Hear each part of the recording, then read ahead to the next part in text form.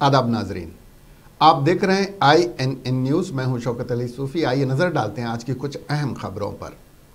वज़ीर अजम नरेंद्र मोदी ने आज कहा कि कोरोना वैक्सीन अगले कुछ हफ्तों में तैयार हो जाएगी और इसके तैयार होने के बाद मुल्क में टीकाकारी का काम शुरू हो जाएगा। मिस्टर मोदी ने कहा, कोरोना वैक्सीन की कीमत का तयन अवामी सेहत को तरजीहत तस्लीम करके रियासतों के साथ गौरव खौस के बाद बुनियाद पर किया जाएगा। मिस्टर मोदी ने कहा कि यहाँ सभी पार्टियों के साथ मुल्क में कोरोना वबा से पैदा सूरत हाल पर तबाद ख्याल के लिए तलब की गई मीटिंग की सदारत करते हुए ये बात कही।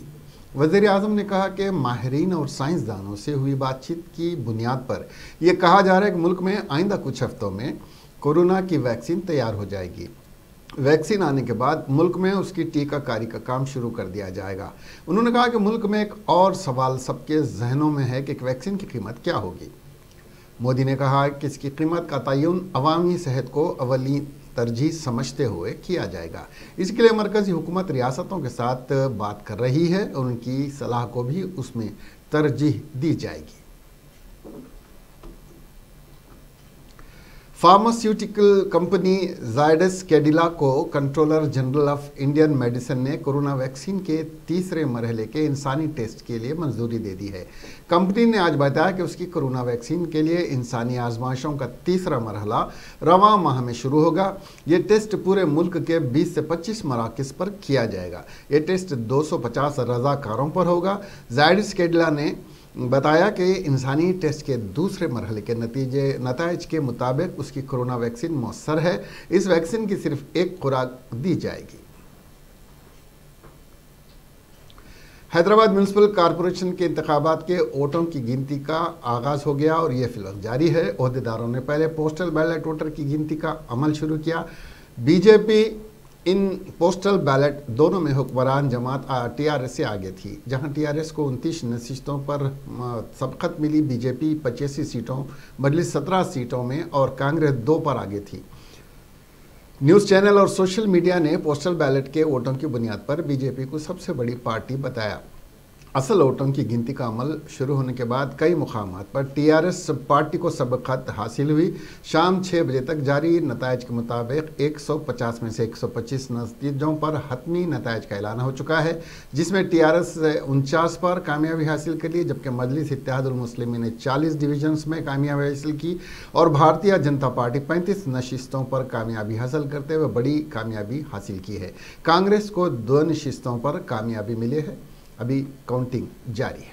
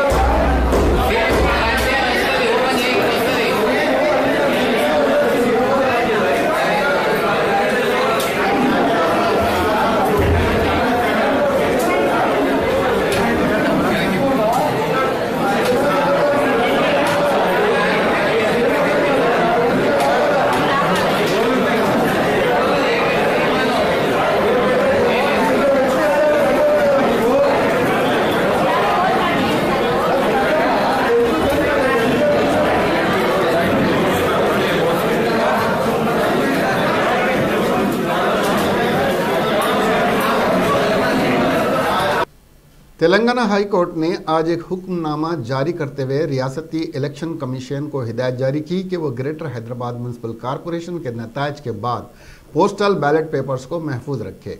हाई कोर्ट बैलेट पेपर्स पर पेन के ज़रिए किए जाने वाले मार्क्स को मुस्तरद करे और तमाम बैलेट पेपर्स को ताहुक्म सानी महफूज रखे। हाई कोर्ट ने आज सुबह भारतीय जनता पार्टी की अपील पर यह हुक्म जारी किया। इसके अलावा हाई कोर्ट ने काउंटिंग मराकज पर मीडिया की रसाई की इजाज़त देते हुए कमिश्नर बल्दिया को हुक्म दिया कि वो मीडिया को काउंटिंग टेबल के करीब तक जाने के लिए इंतज़ाम करे। अदालत के फैसले के बाद सदर रियासती भारतीय जनता पार्टी और रुकन पार्लियामेंट, बंडी संजय ने इलेक्शन कमिश्नर से इस्तीफा का मुतालबा करते हुए कहा कि commission G H M C इंतबात को शफाफ तौर पर मुनद करने में नाकाम रहा, जिसके बाद अदालत को मदाखिलत करनी पड़ी। भारतीय जनता पार्टी के रुकन पार्लियामेंट डी अरविंद मीडिया ने मीडिया से बात करते हुए बताया कि जीएचएमसी इंतबात में बीजेपी की कामयाबियों का आगाज़ हुआ है। 2023 के असम्बली इंतबात में बीजेपी इकतदार पर फायज होगी और 2024 के पार्लियामानी इंतबात में 15 नशस्तों पर तेलंगाना से कामयाबी हासिल करेगी।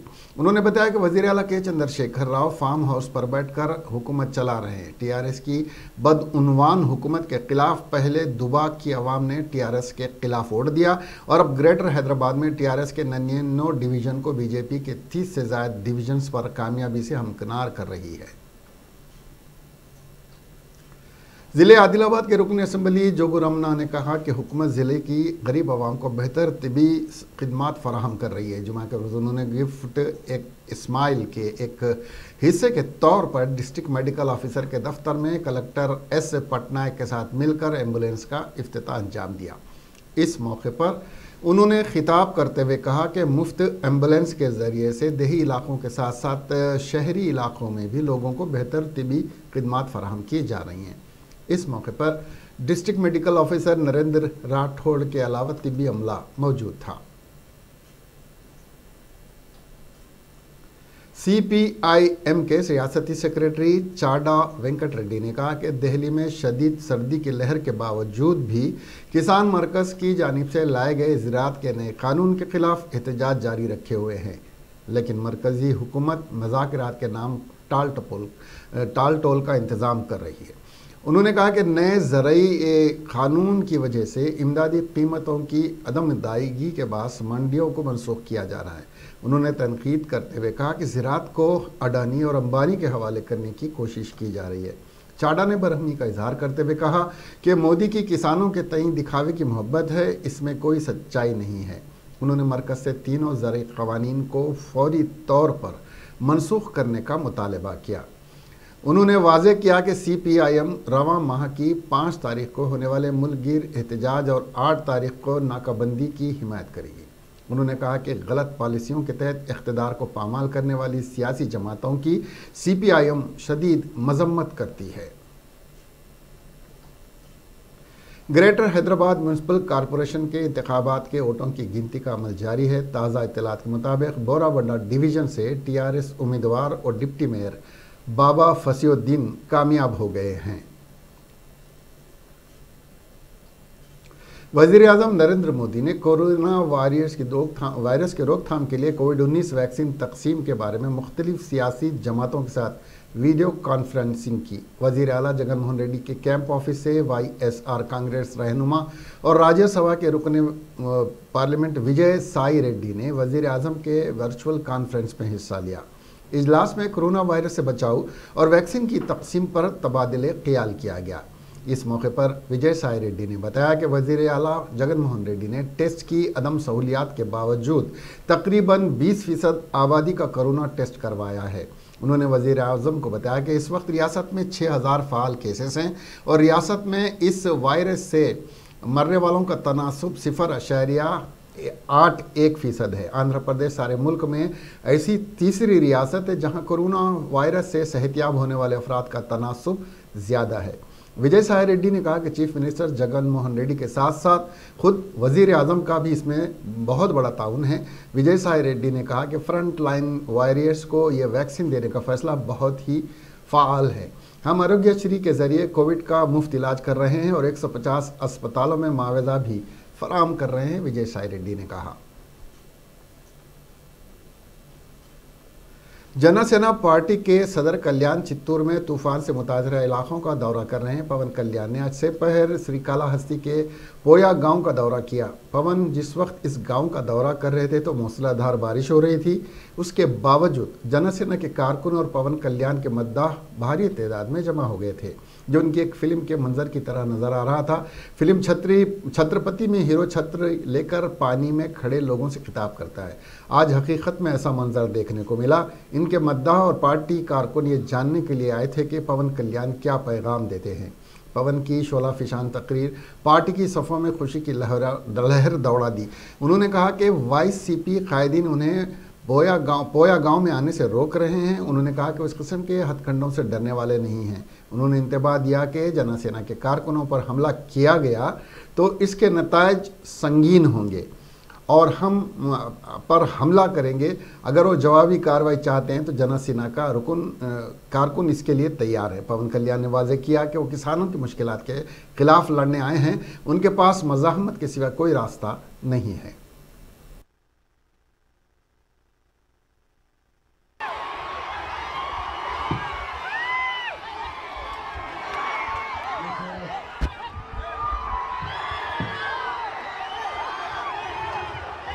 నివర్ తుఫాన్ నష్టపోయిన రైతాంగానికి పరామర్శకి మీరందరూ మీరందరూ ఇలా బయటకు వచ్చి రైతుల పక్షాలు నిలబడినది మనస్ఫూర్తిగా ప్రతి ఒక్కరికి పేరు పేరు ధన్యవాదాలు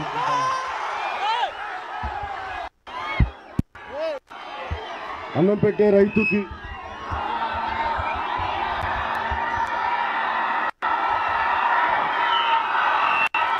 అన్నం పెట్టే మనకు అన్నం పెట్టే రైతుకి కష్టాలు ఉన్నప్పుడు అండగా నిలబడడానికి వచ్చాం. జనసేన సబ్ ముఖ్యమైన నాయకులందరితోటి కార్య కార్యవర్గంతో మాట్లాడుతూ ఉంటే మన నెల్లూరు జిల్లాలో కావాలి దగ్గర నుంచి ప్రతి చోట ఎంత ఇబ్బందులు ఉన్నాయి రైతాంగం ఎంత బాధపడతా ఉన్నారంటే నాకు అనిపించింది. కరోనా సమయంలో కూడా ఇప్పటికీ చాలా వద్దు వెళ్ళొద్దన్నా కానీ ఎందుకు ముందుకు వచ్చానంటే కష్టాల్లో కాకపోతే ఇంకెప్పుడు రావాలి బయటికి? ఎందుకని ముందుకు వచ్చాను ప్రజలు కష్టాల్లో ఉన్నప్పుడు ఇప్పుడు రాకపోతే ఇప్పుడు ఇంట్లో ఇప్పుడు ఇంట్లో కూర్చొని ప్రయోజనం ఏంటి? అన్నం పెట్టే రైతు నష్టపోతున్నప్పుడు అన్నం పెట్టే రైతు పెట్టే రైతే ఉన్నప్పుడు ఇప్పుడు కాకపోతే ఎప్పుడు ఉంటామని బయటకు వచ్చాను. అలాంటి ముందుకు వచ్చిన నాకు మీరు కూడా మీ వంతు మద్దతుకి ఇలా బయటకు వచ్చినందుకు మనస్ఫూర్తిగా మీ అందరికీ పేరు పేరు నాకు కృతజ్ఞతలు తెలియజేసుకుంటా ఉన్నాను. మీ అందరికీ తెలుసు నేను నెల్లూరు జిల్లాలో చదువుకున్నవాడిని నెల్లూరు జిల్లాలో పెరిగిన వాడిని నెల్లూరు జిల్లాలో బంధువులు ఉన్నవాడిని.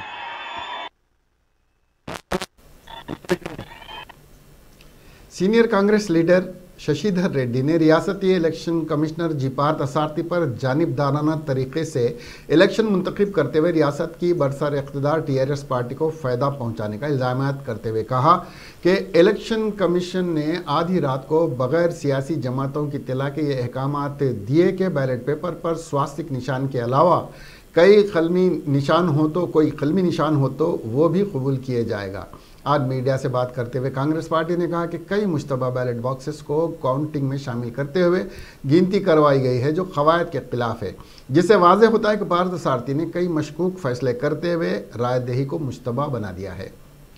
इसके अलावा टीआरएस पार्टी ने इंतबात के करीब मुतासर न होने वाले इलाकों में दस हज़ार रुपये रकम तकसीम करते हुए राय दहिंदों को लालच दिया है।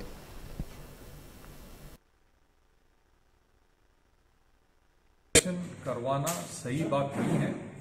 न वोटर लिस्ट सही है, न नए बातों, नए बूथों को मुकर्र करने की जो जो तरीका था वो सही नहीं है। और और कई ऐसे मसले जो सामने आए हैं इशू जो सामने आए हैं, इससे साफ़ होता है कि बिना तैयारी के इलेक्शन कमीशन आगे आई है। मॉडल कोड ऑफ़ कंडक्ट का पूरी तरह से वायलेशन हुआ है। इलेक्शन कमिश्नर ने कहा जब उनको इनके नॉलेज में ये ले गया ले ले, ले गया गया कि इसका वायलेशन हो रहा है। पार्थ सारथी साहब ने कहा कि हमने इंस्ट्रक्शन दिया सारे फ्लेक्सेस को निकालने की। कोई ऑफिसर हैं विश्वजीत उसके बावजूद उस ऑफिसर ने कोई कार्रवाई नहीं की। हम पूछना चाहते हैं इलेक्शन कमिश्नर से, कि आप जो इंस्ट्रक्शंस देते हैं, उसको अमल नहीं करने पर उस ऑफिसर के ऊपर क्या कार्रवाई आप लेना चाहते हैं? और कई ऐसे गलतियाँ हुई हैं जिसके उन उन ऑफिसरों के खिलाफ अगर कार्रवाई नहीं लेते हैं तो सही माने में इलेक्शंस नहीं हो सकते। दूसरी बात, कल बीच रात में एक ऑर्डर दिया है, जिसको वो जो स्वास्तिक स्टैंप लगाने के बजाय कोई और चीज़ लगाकर किया है? पूछने पर बताते हैं कि ये हमारे पावर्स में के है बात। पॉलिटिकल पार्टीज़ को बताने की ज़रूरत नहीं है। इलेक्शन के मामले में पॉलिटिकल पार्टीज़ को बताने की ज़रूरत नहीं है। अगर ऐसा इलेक्शन कमिश्नर समझते हैं तो इससे बढ़ के गलत और कोई चीज़ नहीं हो सकती। और उससे हटके आखिरी एक घंटे में जो वोटों की तादाद परसेंटेज को जितना बढ़ाकर बताया है इससे भी लोगों को शक होता है। बैलेट बॉक्सेस पे उनके नंबर इलेक्शन कमिश्नर ने एक अंग्रेज़ी पेपर के इंटरव्यू में कहा कि उस पर नंबर दिखाई नहीं दे रहे। बार बार आंध्र प्रदेश के मश, मशरकी गोदावरी ज़िले में पेश आए एक अलमनाक हादसे में कार उलटकर तालाब में डूब गई। जिसे तीन अफराद गरकाब हो गए। तफसीत के मुताबिक यानम के एक रिटायर्ड टीचर सत्यनारायण की अहिल्या विजयलक्ष्मी, बेटा संतोष चंद्र प्रणीत, जुमेरात को प्रणीत की रस्म ख़त्म करने के बाद यानम को वापस लौट रहे थे। रास्ते में गंगाराम मंडल के कोटीपल्ली गाँव से गुजरते वक्त ड्राइवर ने कार पर अपना कंट्रोल खो दिया, जिसकी वजह से कार सीधे सड़क से मुतसिल तालाब में जा गिरी।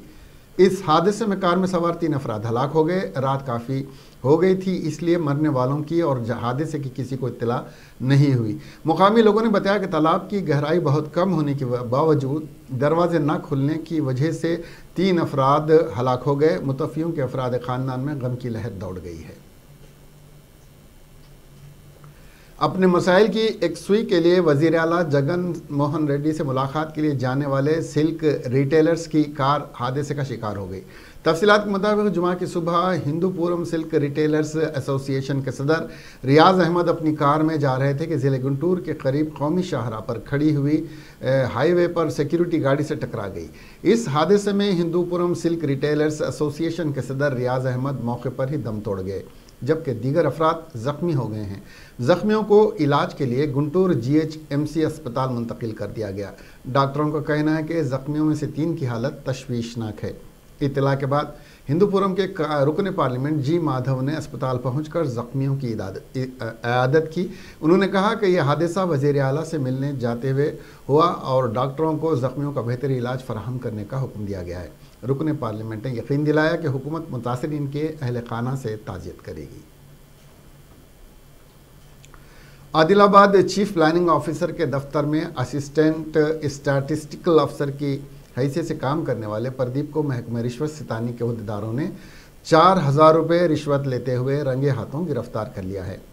तफसीत के मुताबिक, ज़िले आदिलाबाद रूरल जोन इन्नुकुंटा का शर्ट नाम का शरत नामी कॉन्ट्रैक्टर गाँव में सीमेंट रोड के कामों का आगाज़ किया था। इस सिलसिले में असिस्टेंट स्टाटिस्टिकल अफसर प्रदीप ने सड़क के कामों से मुतल बिलों की मंजूरी के लिए शरत से चार हज़ार रुपये का मुतालबा किया। जिस पर शरत ने इस बात की ए सी बी ए सी बी के अहदेदारों से शिकायत की। जिसके बाद ए सी बी के अहदेदारों ने प्रदीप को चार हज़ार रुपये रिश्वत लेते हुए रंगे हाथों गिरफ़्तार कर लिया है और आगे की कार्रवाई में मसरूफ़ है।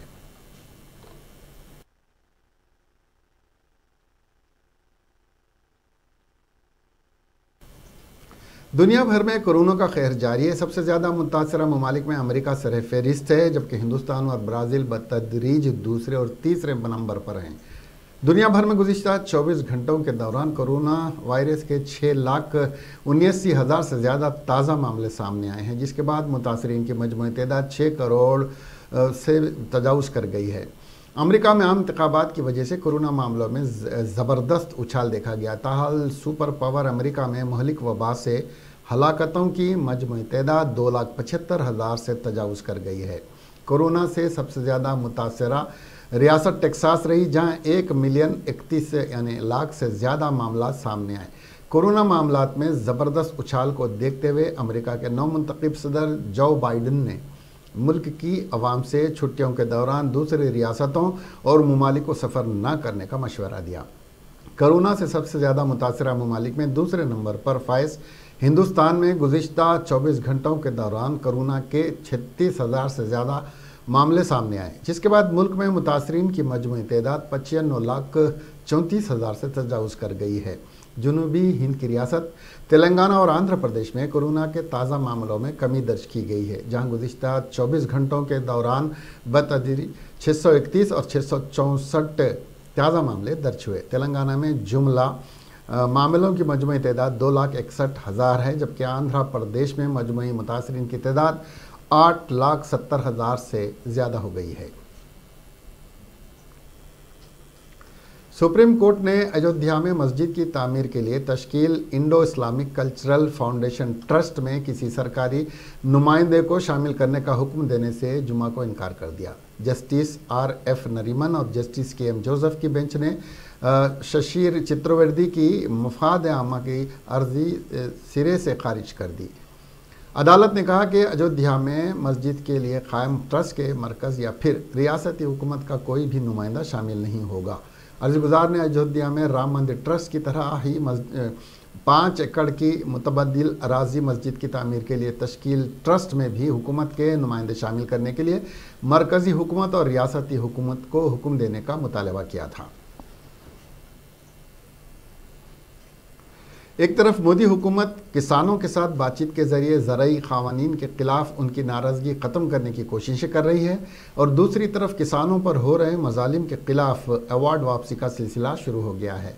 पंजाब के सबक वज़ीर अला प्रकाश सिंह बादल ने अपना पद्म विभूषण गुजशत दिनों वापस कर दिया है और अब खबरें सामने आ रही हैं कि तकरीबन 30 सबक खिलाड़ी जल्द ही अपना सरकारी अवार्ड वापस करेंगे। दरअसल, सबक हिंदुस्तानी बास्केटबॉल खिलाड़ी और अर्जुन अवार्ड याफ्ता सज्जन सिंह चीमा ने गुजशत दिनों ऐलान किया था कि वो पाँच दिसंबर को कई दीगर सबक खिलाड़ियों के साथ दिल्ली पहुँचेंगे और राष्ट्रपति भवन के गेट पर अपना अवार्ड रखकर पुरमन तरीके से वापस चले आएँगे। इनकी हिमायत में अब कई खिलाड़ी सामने आए हैं, जो इनकी पैरवी करने का इरादा रखते हैं। मीडिया जराए से मौसू हो रही खबरों के मुताबिक, चीमा को 30 से जायद सबक ओलंपिक और दीगर मेडल हासिल करने वाले खिलाड़ियों की हिमायत हासिल हो रही है। इन खिलाड़ियों में गुरमेल सिंह और सुरेंद्र सिंह सोढ़ी भी शामिल हैं। ये दोनों खिलाड़ी साल उन्नीस सौ अस्सी में अस्सी माफ़ करना, साल 1980 में मास्को ओलंपिक में गोल्ड मेडल जीतने वाली हिंदुस्तानी हॉकी टीम का हिस्सा थे। मध्य प्रदेश के रतलाम ज़िले में ट्रिपल कत्ल मामले के कलीदी मुलजिम दिलीप देवल को जुमेरात की रात पुलिस ने एनकाउंटर में मार गिराया। पुलिस मुलजिम को वारदात के बाद से ही ट्रेस कर रही थी और इस पर तीस हज़ार रुपये का इनाम भी ऐलान किया था। इस तसादुम में दो सब इंस्पेक्टर समेत पाँच पुलिस अहलकार भी जख्मी हुए हैं। रतलाम एनकाउंटर पर चीफ मिनिस्टर शिवराज सिंह चौहान ने रद्दमल ज़ाहिर किया है। चीफ मिनिस्टर शिवराज ने ट्वीट करके तसादुम पर कहा है कि रतलाम ट्रिपल कत्ल केस का कलीदी मुलजिम दिलीप देवल पुलिस के साथ तसादुम में मारा गया। मैंने पुलिस को सख्त हिदायत दी थी कि ऐसे हैवान को समाज में रहने का कोई हक नहीं है, उसे जल्द से जल्द पकड़ा जाए। उन्होंने पुलिस की टीम का शुक्रिया अदा करते हुए ज़ख्मी पुलिस अहलकारों के सेहतियाब होने की तमन्ना की है। एक दीगर ट्वीट करके उन्होंने कहा, जब पुलिस टीम से उससे पकड़ने गई तो उसने पुलिस के साथ मुठभेड़ इख्तियार की थी। उत्तर प्रदेश के ज़िले बांदा के कोतवाली देहात थाने इलाके में जुमेरात की रात रोडवेज़ बस की जद में आकर ऑटो सवार सात अफराद की मौत हो गई, जबकि दीगर दो अफराद ज़ख्मी हो गए। पुलिस सर्कल ऑफिसर शहर आलोक मिश्रा ने बताया कि बांदा, मकानपुर, शाहरा पर जमालपुर गाँव के नज़दीक यह हादसा उस वक्त पेश आया जब काम ख़त्म करने के बाद मजदूर और दीगर अफराद बांदा से ऑटो में अपने गाँव वापस लौट रहे थे कि रास्ते में बेकाबू तेज़ रफ्तार रोडवेज़ बस ने ऑटो को टक्कर मार दी, जिससे ऑटो पलट गया। इस हादसे में पेरेंदा गाँव ऑटो ड्राइवर मंगाराम तिवारी, रामदीन राम गोपाल लाल बहादुर और उसकी तीन साल बेटी शानवी, लौसन प्रजापति और हिंदू करेल की मौत हो गई, जबकि जमालपुर गाँव की आशा कारकुन समित्रा यादा यादव समेत दो अफराद शदीद तौर से ज़ख्मी हो गए। सुमित्रा की हालत नाजुक होने पर उसे इलाज के लिए बांदा अस्पताल मुंतकिल किया गया है। उन्होंने बताया कि इस बस ड्राइवर अजय बाबू को गिरफ़्तार कर लिया गया है और दीगर जख्मियों का इलाज अस्पताल में करवाया जा रहा है। पीडीपी सदर और सबक वज़ीर अला महबूबा मुफ्ती ने कहा है कि किसानों के एहतजाजों ने हुकूमत हिंद को घुटने टेकने पर मजबूर कर दिया है। उन्होंने कहा कि भारतीय जनता पार्टी अवाम की ताकत से खौफजदा है। यही वजह है कि दफ़े 370 की मनसूखी के बाद जम्मू कश्मीर में खौफ व दहशत का माहौल पैदा किया गया है। मौसूफ़ा ने इन बातों का इजहार दिल्ली सरहद पर किसानों के ज़राती असलाहत के खवानी के ख़िलाफ़ जारी एहतजाज के रद्दमल में अपने एक ट्वीट में किया। उन्होंने लिखा, किसानों के एहतजाजों ने हुकूमत हिंद को घुटने टेकने पर मजबूर कर दिया है। बीजेपी अवाम के ताकत से मरूब है और यही वजह है कि दफ़े 370 की मनसूखी के बाद जम्मू कश्मीर में खौसो दहशत, खौफ दहशत का माहौल पैदा किया गया है। पुरमन इख्तलाफ राय पर पाबंदी लगाना उनके तमाम महाजों पर नाकाम होने और घबराहट का सबूत है। बता दें, दिल्ली की सरहद पर किसानों की तरफ़ से तीन ज़राती असलाहत के कवानीन के ख़िलाफ़ एहतजाज जारी है। मरकज़ी हुकूमत और किसान लीडरों के दरमियान जुमेरात को एक मीटिंग मुनद हुई, जिसके बाद किसान तंजीमों ने दावा किया कि हुकूमत ने तीनों ज़राती असलाहत के कवानीन में तरमीम करने का इंदिया दिया है। वज़ीर अजम नरेंद्र मोदी वज़ीर दिफा राजनाथ सिंह और मरकज़ी वज़ीर दाखिला अमित शाह ने बहरिया के दिन के मौके पर बहरिया के एहलकारों उनके कुंबे को नेक ख्वाहिशात और मुबारकबाद दी है। मिस्टर मोदी ने जुमेरात को अपने ट्वीट पैगाम में कहा, सभी फौजियों और उनके कुंभों को बहरिया के दिन की मुबारकबाद। बहरिया के बेखौफ हमारे साहिलों की हिफाजत करती रही है और ज़रूरत के वक्त इंसानी इमदाद भी देती रही है। ये मुल्क की खुशहाल समंदरी रिवायात को याद करने का भी मौका है। मिस्टर सिंह ने कहा कि बहरिया के दिन के मौके पर गैर मामूली बहरिया के सभी फ़ौजियों को मुबारकबाद और नेक ख्वाहिशात।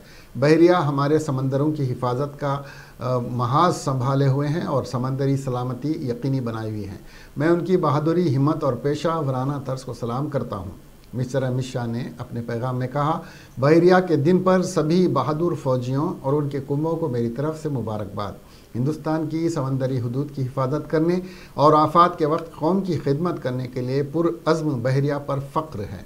वादे के बहरिया हर बरस चार दिसंबर को बहरिया का दिन मनाती है। बहरिया के दिन का वाक़ उन्नीस से जुड़ा है। इस दिन हिंदुस्तानी फ़िज़ाया ने पाकिस्तान के ख़िलाफ़ ऑपरेशन ट्राइडेंट शुरू किया था। इस लड़ाई में पाकिस्तान को शिकस्त का सामना करना पड़ा था। उसी की याद में आज के दिन को बहरिया के दिन के तौर पर मनाया जाता है। इस फतेह को अगले बरस पचास बरस मुकम्मल हो जाएँगे। नौसेना दिवस मनाएँगे। भारतीय नौसेना हमारे समुद्र तटों की रक्षा और सुरक्षा प्रदान करती है।